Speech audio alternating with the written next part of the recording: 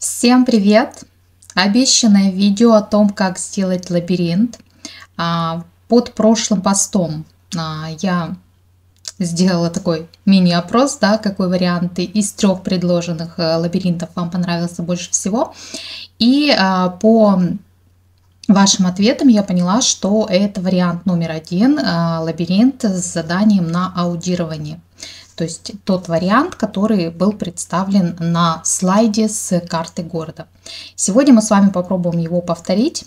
А, делается он несложно а, и думаю, что пригодится не только для учителей иностранного языка, но и для любого другого предмета, если вы сможете адаптировать его содержание а, под свой предмет. Давайте я напомню содержание нашего лабиринта, как он выглядел и что из себя представляет для тех, кто еще не видел. Итак, а, это задание с карты города, где нажав на начальную кнопку, то есть мы должны пройти путь от точки А до точки Б, прослушав аудио. Мы нажимаем на красную кнопочку, у нас запускается аудио, и мы проходим данный путь. Я сейчас быстренько пройду этот путь, не буду слушать аудио, чтобы нам быстренько показать вам, вернее, как это все. Опс, немножечко не получилось, а, поэтому начнем еще раз. Я чуть-чуть поторопилась. Так, двигаемся, двигаемся. Так, не пропустить, по-моему, да, да, да, да, вспомнила. Нажимаем. Окей, ура. А, вот такой лабиринт у нас получился. Мы сейчас попробуем сделать его с другой картой, да, чтобы у нас было какое-то разнообразие. Это у нас будет лабиринт с аудированием. Итак, а, у нас есть карта города, то есть мы заранее подготавливаем а, саму карту. Дальше какой-то объект, у меня я вставила обычный обычную картинку, обычный значок, человечка, то есть это у нас будет триггер, который будет как раз запускать наш лабиринт. И, конечно же, я вставила аудио. То есть у нас получается на стартовом слайде а, размещены, так, сейчас включу, так, на стартовом слайде у нас размещено задание, а, само аудио, карта и вот этот человечек, который служит триггером для запуска лабиринта. А дальше на втором слайде как раз будет размещаться вот э, наш путь. То есть мы его будем прокладывать с помощью э, указателя нашей мышечки. И э, третий, четвертый слайд, это у нас будет упс, если ошиблись, ура, если у нас все получилось. Итак, давайте проведем первоначальные настройки. Что нам необходимо сделать на первом стартовом слайде? Нам необходимо по клику на вот этом человечке запустить а, аудиозапись, которая у нас прикреплена. А, для этого мы с вами выделяем аудиозапись, переходим в слайд-шоу. А, ой, извините, переходим в анимацию. Нам нужна анимация воспроизведения и триггер по щелчку на человечке. Сейчас открою область анимации, чтобы вы видели. Да? То есть мы кликаем по человечку, это у нас триггер 1, у нас запускается аудио. Дальше, что нам необходимо сделать? Поскольку у нас э, этот человечек также э, э, поможет нам перейти на следующий слайд, на восьмой, на котором мы будем э, прокладывать наш путь, нам необходимо, чтобы вот это аудио, оно у нас длилось и на первом стартовом слайде, и на втором. Для этого э, в области анимации мы видим наш аудиофайл, нажимаем стрелочку, выбираем параметры эффекта. И сейчас смотрите, что нам необходимо здесь сделать. Вот здесь вот есть кнопочка «Закончить» по щелчку после текущего слайда или после конкретного. Поскольку у меня будет э, аудио звучать на седьмом и на восьмом слайде, вернее на седьмом он будет включаться и начинаться, а продолжаться соответственно на восьмом. Поэтому я делаю «Закончить» его после восьмого слайда у вас будет это слайд второй, допустим, да, если вы делаете э, с первого слайда. Все, после восьмого слайда у меня аудио будет останавливаться. Нажимаем ОК. Все, закрываем.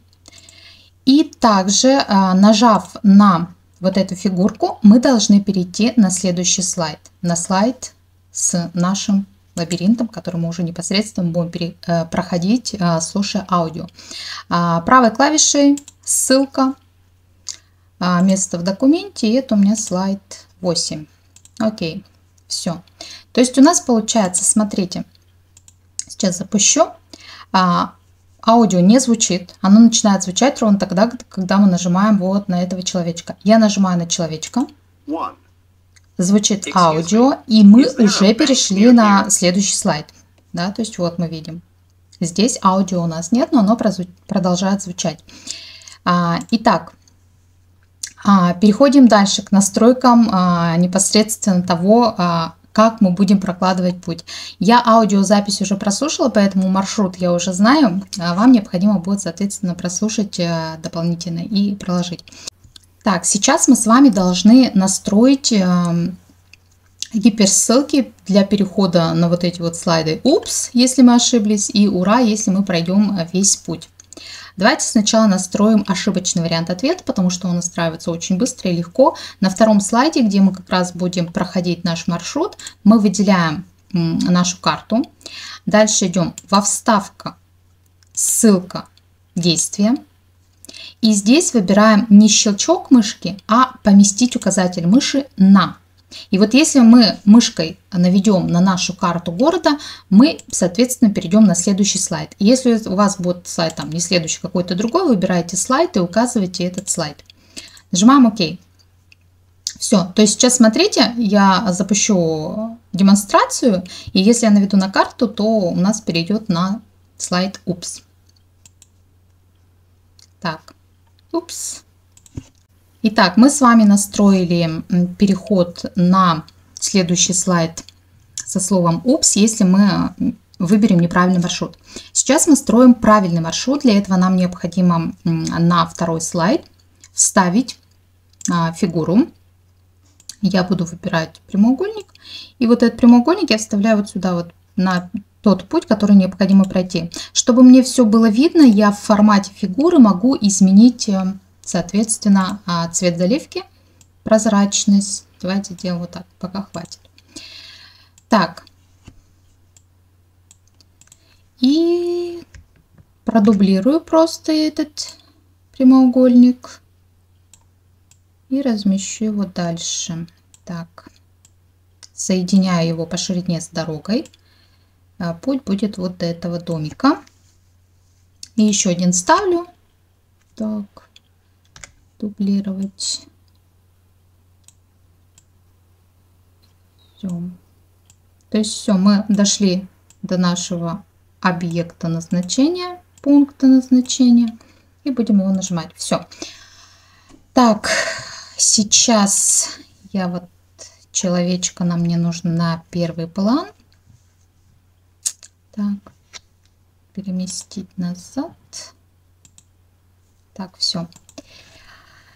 Так, выделяем наши дорожки.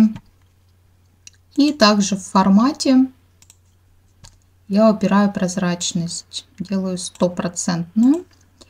И контур тоже нужно убрать, чтобы нам не видно было. Все, нет контура, отлично. Так, и смотрите, когда мы дошли до вот этого а, пункта назначения, мы сейчас сделаем клик по нему и перейдем на слайд с «Ура». Да, поэтому правой клавишей ссылка, а место в документе, слайд 10. Окей. Все. А, давайте проверим. Запускаем с первого слайда. Итак, вот видите, у нас пока ничего не происходит, потому что это стартовый слайд. Здесь у нас не настроены гиперссылки, поэтому мы ничего не можем сделать, кроме как нажать на этого человечка и запустить э, аудио. Курсор мыши у нас непосредственно уже будет тут, мы его не можем сдвигать, то есть мы от этого места начинаем свое движение по карте города. Итак, нажимаем. Включается аудиозапись, мы внимательно слушаем и начинаем движение. Давайте для, для начала сделаем ошибочное. Вот мы пошли-пошли, услышали, что надо повернуть, например, вот сюда, на Форд-стрит. Упс. Окей, вернулись снова на наш первый стартовый слайд, нажимаем еще раз, снова прослушиваем аудиозапись. И уже идем, соответственно, прямо. Правильно, да, все мы понимаем. Все. О, вот здесь вот. Нажимаем. Ура! Отлично, мы справились с заданием. Это супер.